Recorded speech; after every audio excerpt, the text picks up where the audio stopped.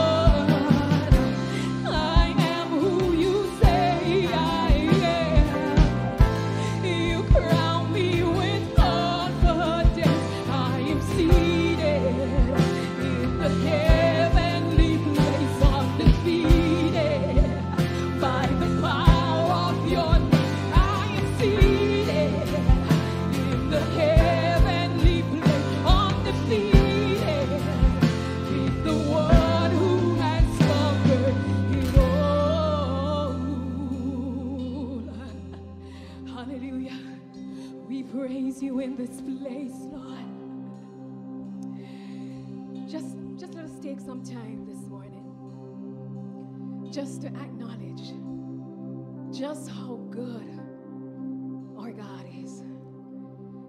Just to thank Him for being our champion. Just to say that we can call upon that name, the name of Jesus. There is no other name but that name, Jesus.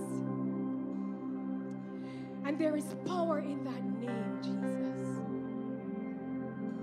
And because of the power of his name, we can stand here knowing that we will have the victory. We will have the victory. You know, in Philippians, Philippians 2, verse 9, it says, Therefore, God exalted him to the highest place and gave him Jesus, the name that is above every name. And that at the name of Jesus, every knee should and will bow in heaven and on earth and under the earth. And every tongue, or voices, or praise, or worship will acknowledge that Jesus Christ is Lord. And we will do this to the glory of God the Father. Let us worship Jesus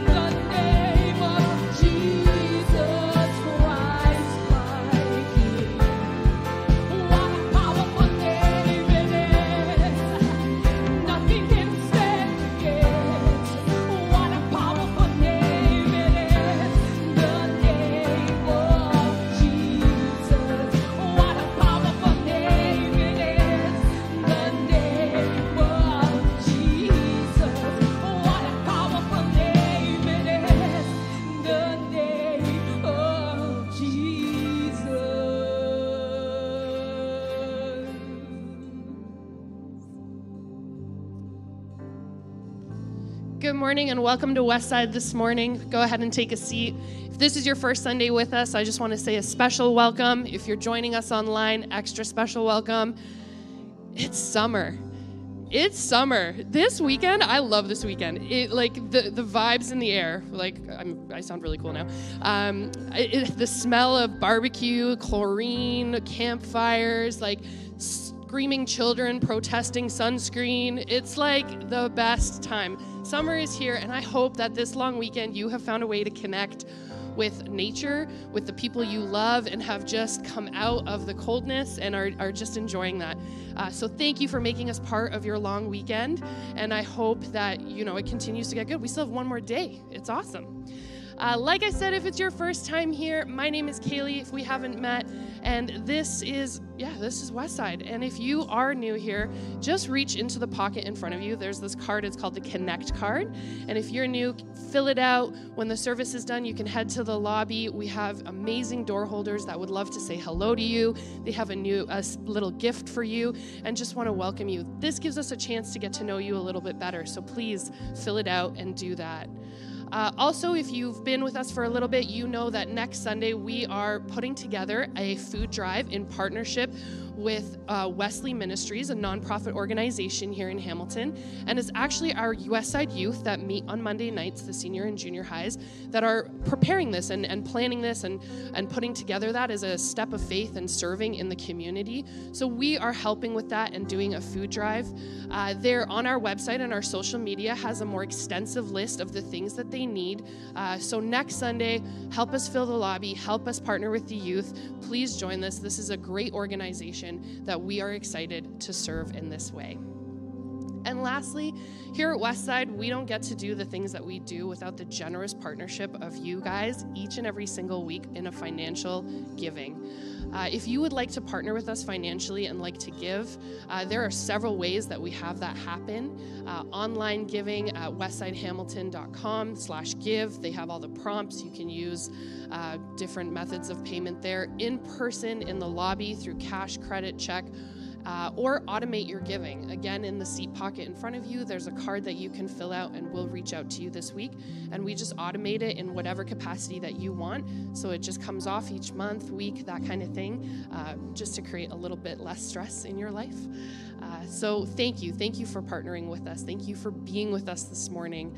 Uh, we are so excited. Uh, Pastor John Latta will be speaking this morning. Uh, but before he does that, I just want to pray for him and pray for our service. So please join me. Father God, thank you. Thank you for how good you are.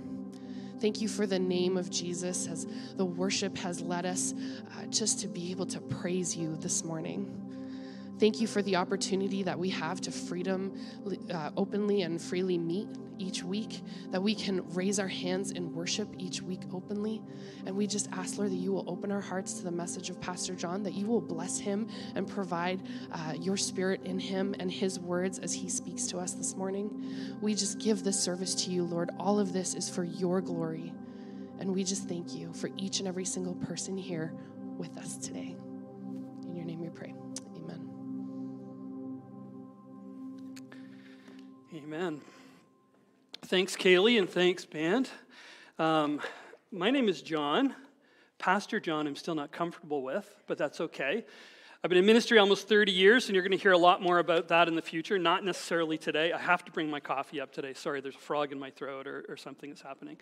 Um, but uh, I just enjoyed that worship this morning, and I thought that if you were here live, which we all are here, but if you're online, uh, I hope that somehow uh, that the worship that was sung today and the praise of the heart, especially the band, but all of us, was conveyed over uh, the online the, li- the online teaching, uh, the online live stream. See, I need to get all used to this. I have notes, and the reason why I have notes is because there's two things we're going to do today. One is um, I'm going to try and do my best to bring a bit of a review to what we've been learning the last few weeks that, that Pastor Dave Steimers, is that what you call him? I call him Dave, so sorry.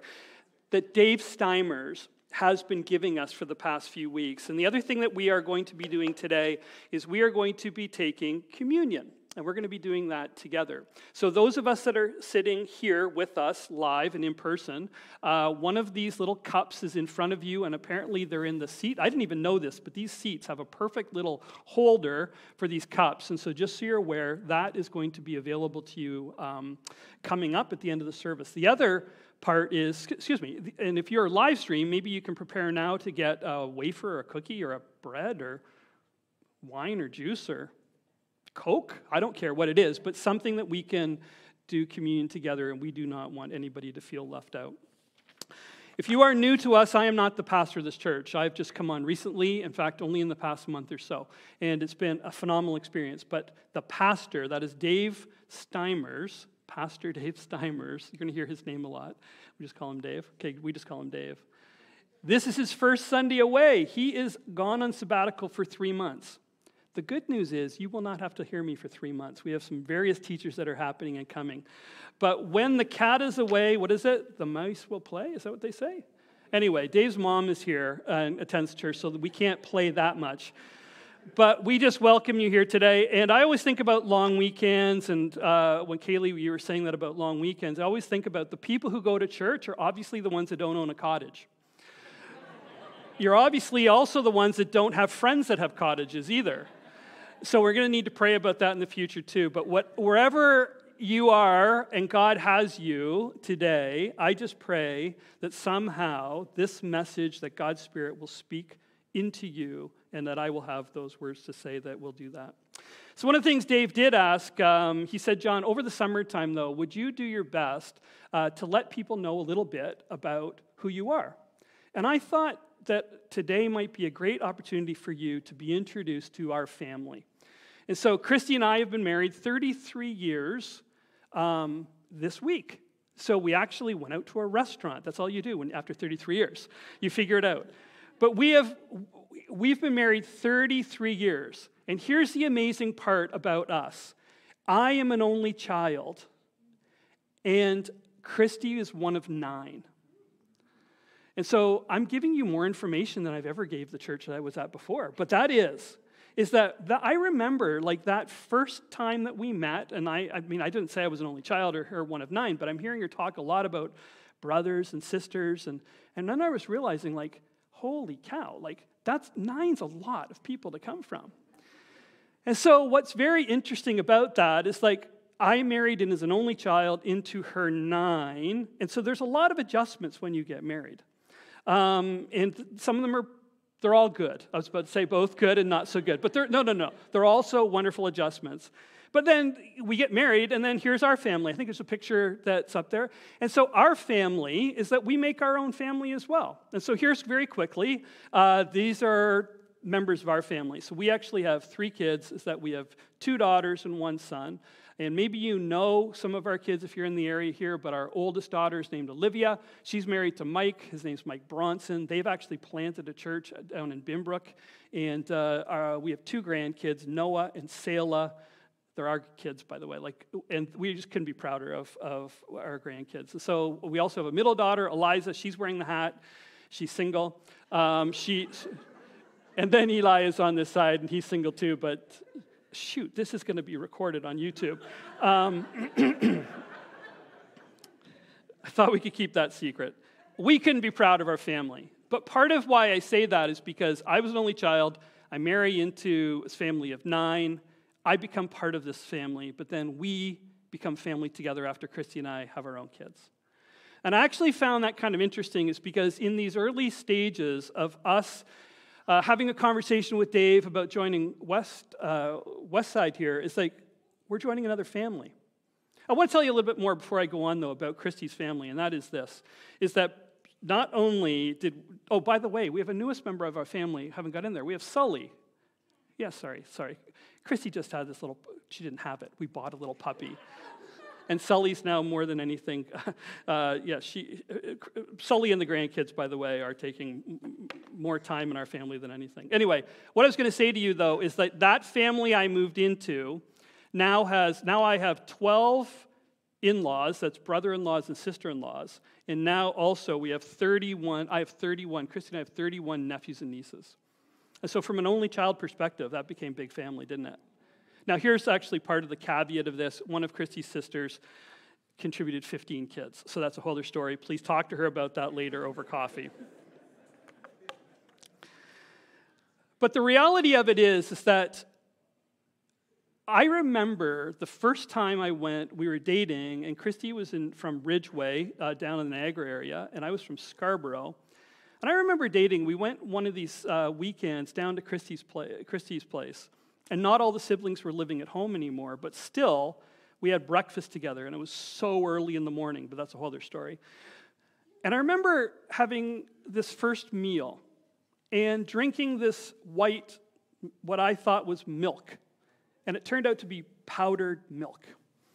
And recognizing that as an only child, I could go into the refrigerator, get a bag of milk anytime I wanted, and just drink as much as I wanted.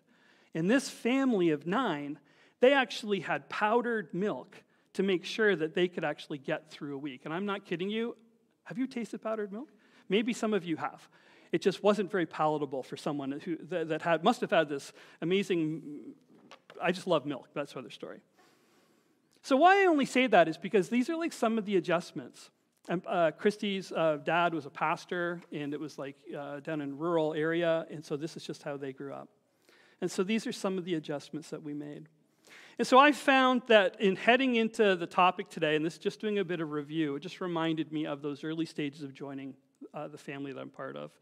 So I don't know um, if you are here and you're just visiting for the first time, or you're visiting for the tenth time, or maybe you are uh, church hopping or church shopping, or coming out of COVID and maybe just starting to get back with people, or maybe you do call Westside Church home. I don't know where you are at. I'm just glad that you are joining us today. And I just pray that maybe the message that we have today might, might speak to you. Last Sunday, was super encouraging.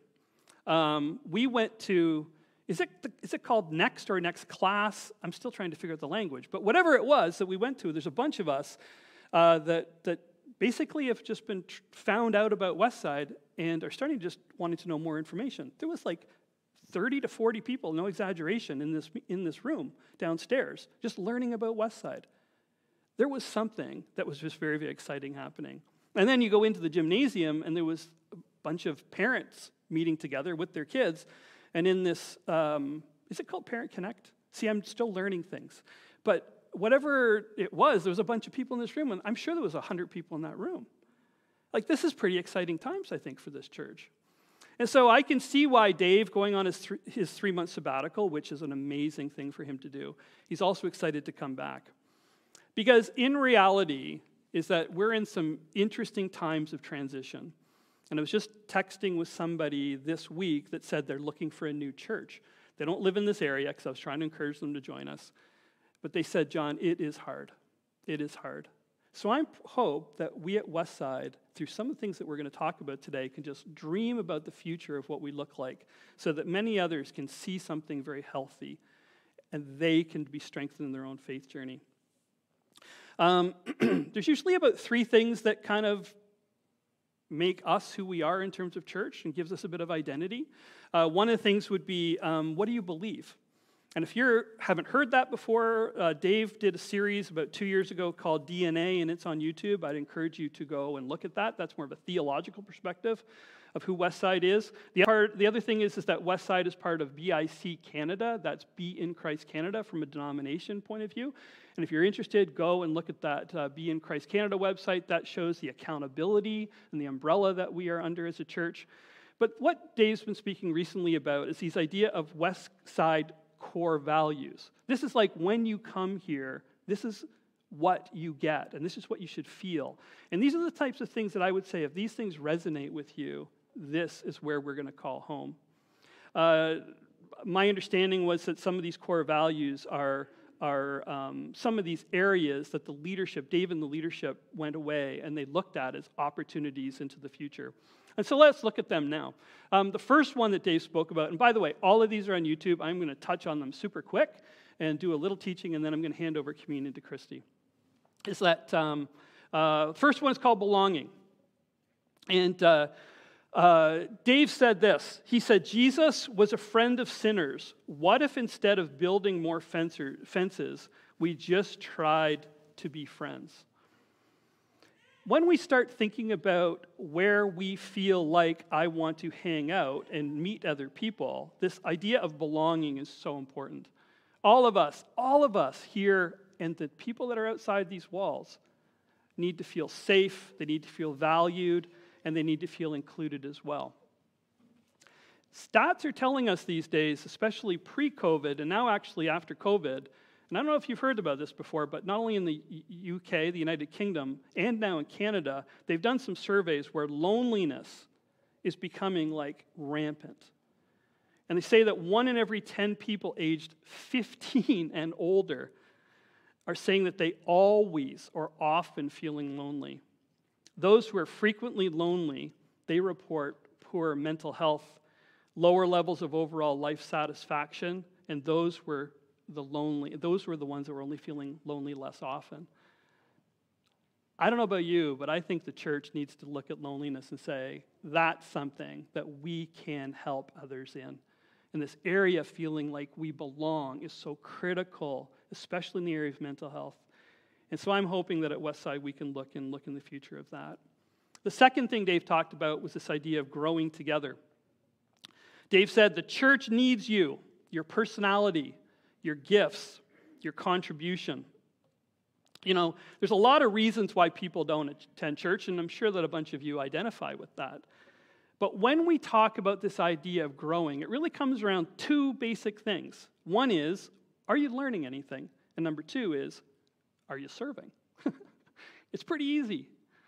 And so when we look at growing together, and I love this, I'm glad the leadership targeted this, is that when we're doing life together in a healthy way, what that means is we need to be learning and in a posture of taking information in so that what? We can help other people and we can be serving. Uh, in Dave's message, and I can't remember what date that one was, he actually targeted, it's a really quick line, but it was actually the last sermon I spoke at the church I was at previously. And this idea is that I, it's that too many people over many years haven't committed to grow spiritually because they are spiritually immature. Spiritually immature. You know, I'm quite a bit older than most of you here. And unfortunately, there's been many people my age or even older that have followed, they followed Jesus their entire lives.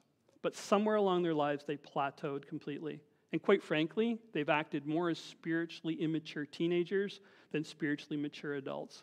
And I apologize for that within my generation. But I would say to you, let's not let that happen with us or other generations to follow. That's why we grow. We don't grow to be more immature, we grow to be mature and to find out what that means to be a follower of Jesus. I think one of the key reasons why we come to church actually is to grow. Compassion. Um, Dave said, when we look to meet needs, we find Jesus. When we find Jesus, we find life. You got to go back to this one. On May 8th, Dave told this story of how in this church around Christmas time, my understanding was is that they were doing a, a drive or something to, to raise money for a project. I think the project was to change the carpets or to do something kind of internally. All I remember is the first Sunday Christy and I came here, we walked in and went, oh my goodness, look at the frayed carpets. By the end of that message on May 8th, when we were here, I walked away going, oh my goodness, I love those frayed carpets. Dave reminded us on that week how, yes, the plan was to do some things internally around this building. And by the way, let me just push, uh, pause a second, is that there has been a plan at Westside, a three pronged plan at Westside to, to work with the kids' ministry area, to work with the office area, and then to work with the rest of this area. So it's not like that isn't on hold. There still is a building plan in that way. But the idea of this uh, joining Food for Kids Hamilton, where over 1,200 uh, kids in over 60 schools aren't being fed properly and are depending upon a system to help them be fed outside their home. And then Dave, sorry if I'm, it was an Elton John concert? Sorry, he, at an Elton John concert, God speaks to Dave and says, Look, we have that $30,000 we're trying to raise, but we got to turn the numbers around. We actually have to give that money away for the kids. So now when I look at the frayed carpet, I go, Are you kidding me? This is exactly where I want to be. I want to be in a place where we use the carpets and make them well used. Okay, now I'm actually going to tell you a story that's not in my notes. I was in youth ministry. See, this is on YouTube, but that's okay. Um, I was in youth ministry when I started uh, when I start, started in ministry, and that's getting back almost oh my goodness, 25 years ago per se. And we had put brand new carpets into this youth area. We put this youth room up and new carpets in the area. And I remember to the I remember like it was yesterday, getting called into one of the pastor's offices and being told, "You do know we put those new carpets in there." you do know that you guys are basically staining those carpets and they're getting kind of wrecked and the whole bit. And I actually went, like, isn't that my job as a pastor to like get these carpets wrecked and sort of to go through these as many times as you want? And why I say that is because when we see stuff used and frayed and whatever, of course we want to replace it. Our job is to wear the carpets out. And so I just thank thank, thank you uh, to the leadership for making compassion and even this story is that there's needs all around us. And as we want to invest in Dundas and Ancaster and the west side area, that even if we replace these carpets, that at some point we will see these carpets worn out. That is what our job is. The next week was uh, on mission. And this was last week. No, was this last week? Okay. Um, and Dave said this He said, I believe God has called Westside Church to be a Jesus centered church that is for unchurched people. God is working all around us. God is working in areas and places that we would not expect. And the good news of Jesus Christ is actually an amazing invitation for people, and they don't even know it if we do not bring Jesus to them. And so when we're on mission, we want to say, bottom line, we want to introduce people to Jesus. Whether that's unchurched people, or we call it spiritually curious, or maybe they're your coworkers, or they're your friends, or they're your neighbors, or they're your relatives, is that part of the core values of this church is to make sure that the good news of Jesus isn't just for us, but it's for other people. And so it shouldn't surprise us in the future as we take opportunities to use this building and to go out into the world around us to make sure that we are all about being on mission to introduce people to Jesus.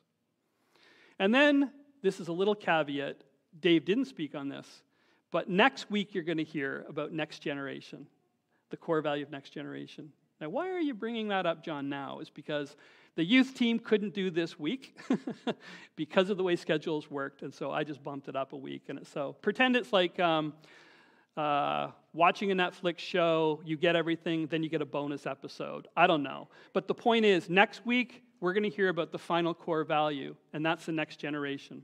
And Zach's going to be, Zach Boot's going to be with the youth team, and we're going to have some youth and some youth team here, and I'm looking forward to that week. I think it's going to be a ton of fun.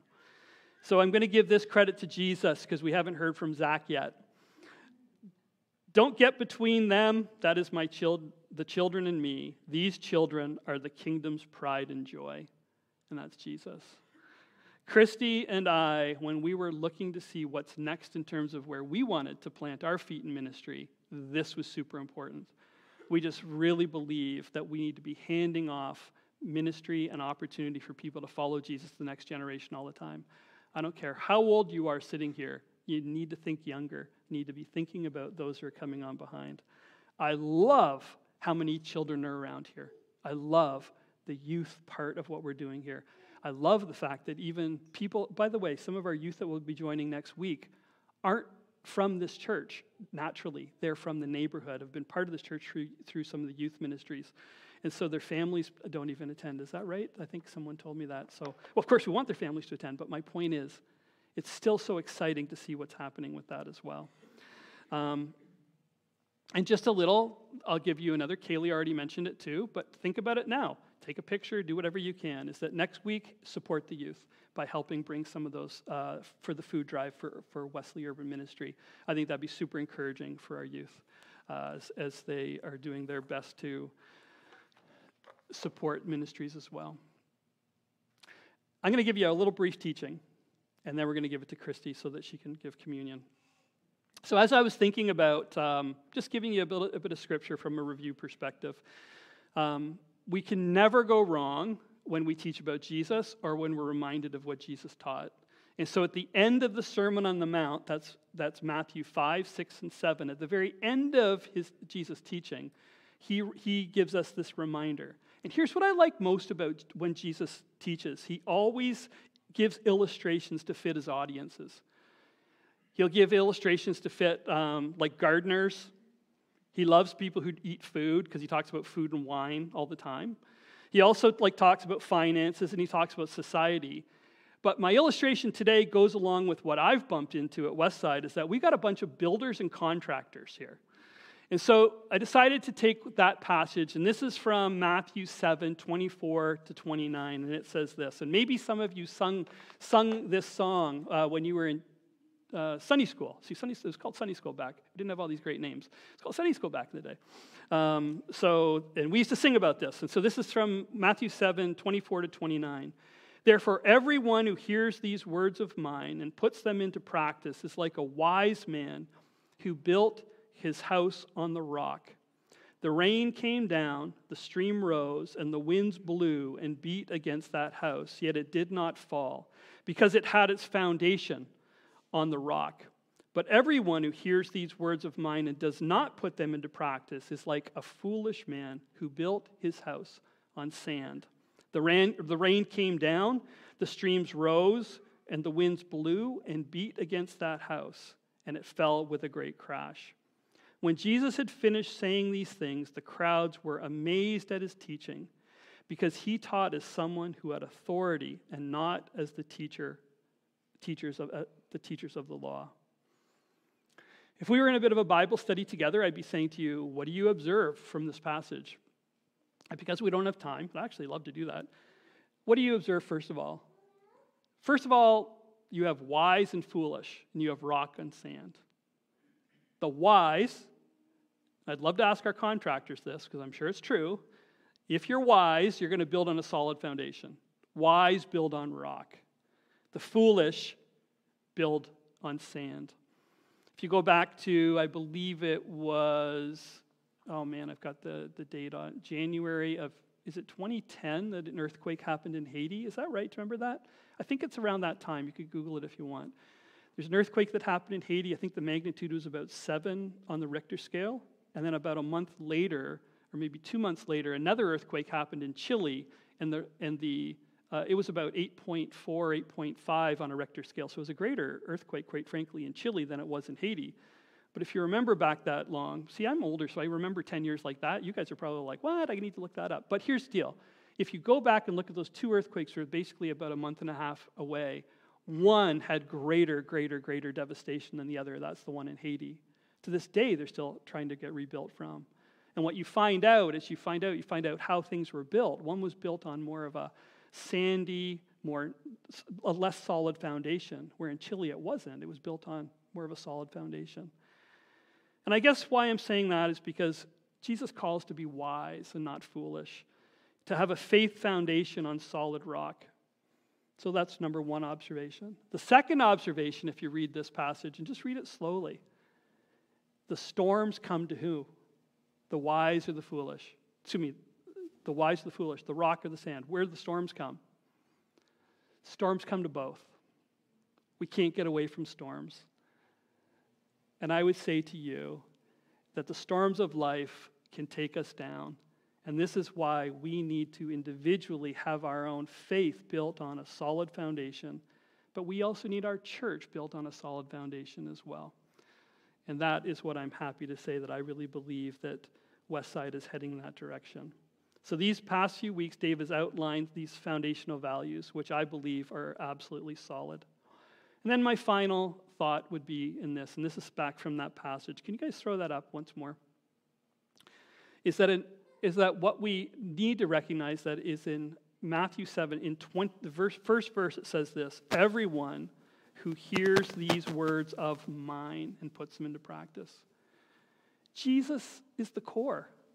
All these values are surrounding Jesus. These are Jesus' words that we're putting into practice. And even though we have these great ideas, we still need to recognize that the final words of Jesus, he reminded in his Sermon on the Mount, were these are my words. I'm the solid foundation.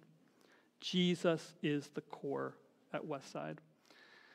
I'm going to hand this over to Christy, and uh, let me pray first, and then we are going to uh,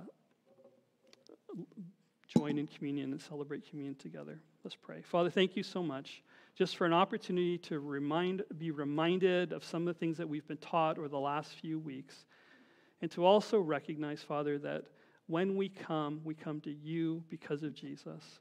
And so, Father, I pray that those of us that are part of this Westside community, and maybe some people that are visiting, or whoever that might be that are listening to these words now, will come back to say, Lord, I need to build my life on you because you are the solid rock, and the solid rock that no matter what storm comes to my life, comes to us as a community, that we will still stand firm. So, Lord, as we go and celebrate your son Jesus today, we just pray that we will do this with hearts that are open to the love that you have for us. In your name we pray. Amen. Do you want this?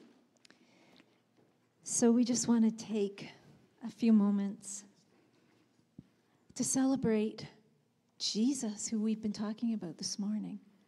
Jesus, our beautiful Jesus, who did not have his life taken, but who laid it down for us. The, um, the cross is also called the Great Exchange. And here is what Jesus did and the exchange he made for us. Jesus was punished so that we can be forgiven. Jesus was wounded so that we can be healed. Jesus was made sin with our sinfulness so that we can be made righteous with his righteousness. Jesus died our death so that we can receive his life. Jesus endured our poverty so that we can share in his abundance. Jesus bore our shame so that we can share in his glory. Jesus endured our rejection so that we may have his acceptance with God the Father. And Jesus was made a curse so that we can receive his blessing. That is our beautiful, beautiful Jesus. And we want this morning to celebrate, to reflect, to remember all he did for us because of his great love for us, so that we could be in relationship and in union and in oneness with Jesus. And so, just before we um, take the elements, I want us just to take one moment of silence. And we're going to invite the Holy Spirit to show us if there's anything, anything within us that maybe we need to just bring to Jesus and receive forgiveness or cleansing for. Because the Bible tells us we don't want to take this in a manner that's unworthy. We want to have clean hands and we want to have pure hearts before Jesus as we take communion today. So, just for one moment, we're going to allow the Holy Spirit just within each of our hearts to show us if there is anything. And you talk to Jesus about it, and then we will share in communion together. So, let's take that moment of quiet.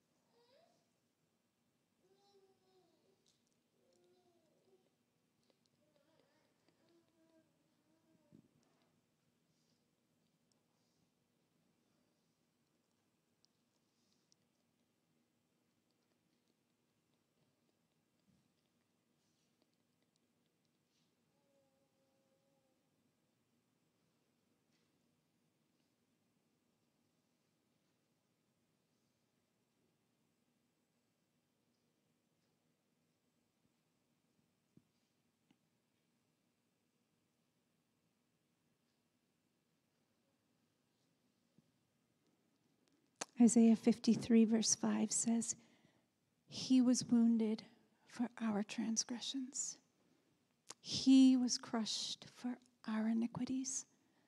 The punishment that brought us peace was upon Him, and by His wounds we are healed.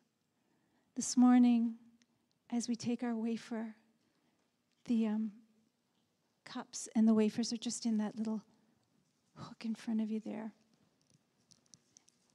Okay, the first time I used one of these, I could not get it open, so this one has a separate peel for the wafer and then another peel for the, the wine. But as we take this wafer, as we remember Jesus' body broken for us, let's remember, in light of this scripture from Isaiah, whatever the Holy Spirit showed you in that moment of silence, it's paid for. It's done. You're forgiven. Jesus paid for it.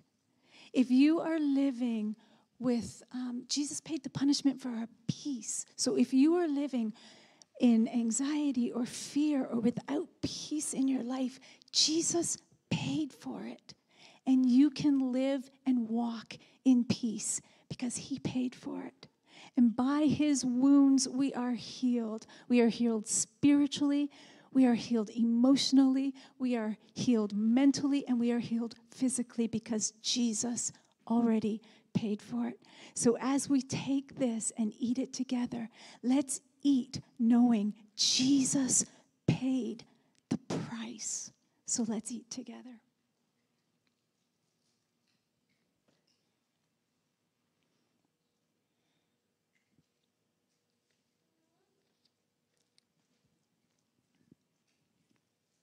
First Corinthians 11 says, In the same way, after they eat, Jesus took the cup of wine.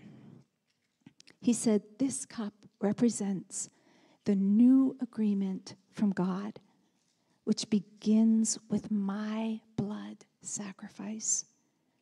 When you drink this, do it to remember me. Let's remember the sacrifice of Jesus as we drink it together.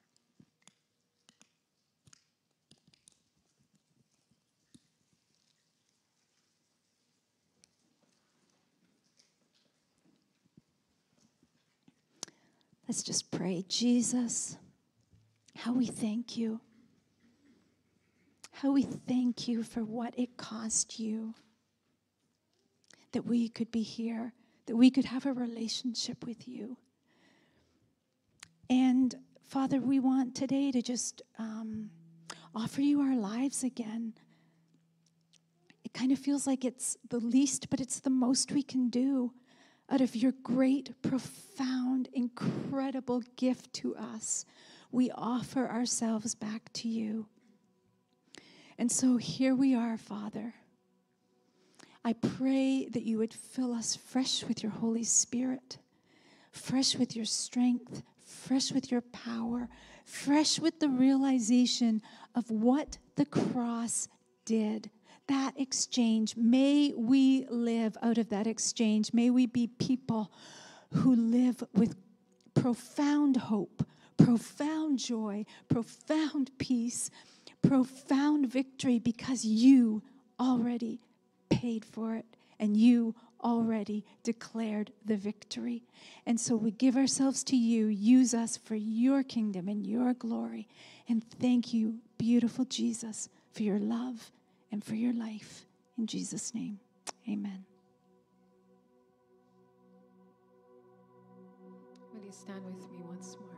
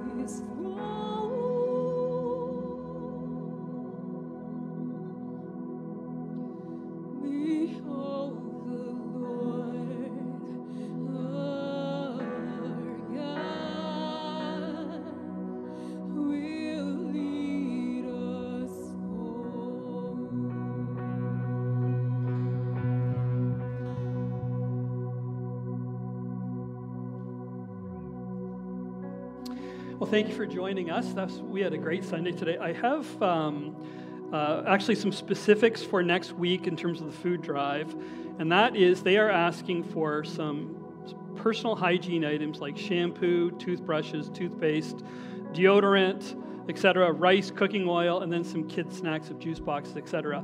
If you need a reminder of that, um, please join uh, the Hamilton, what is it, Westside Hamilton Instagram. I think you'll be able to find it there, but there are some specific items that they're looking for next week. But because you don't own a cottage or friends with a cottage, we have donuts for you today. We have donuts and coffee, and please hang out for a little bit if you can and just meet some people maybe that you've never met before, and that will be at the back. But any any any way that we can say this, we just want you to have a wonderful week. God bless you. Go in peace. See you later.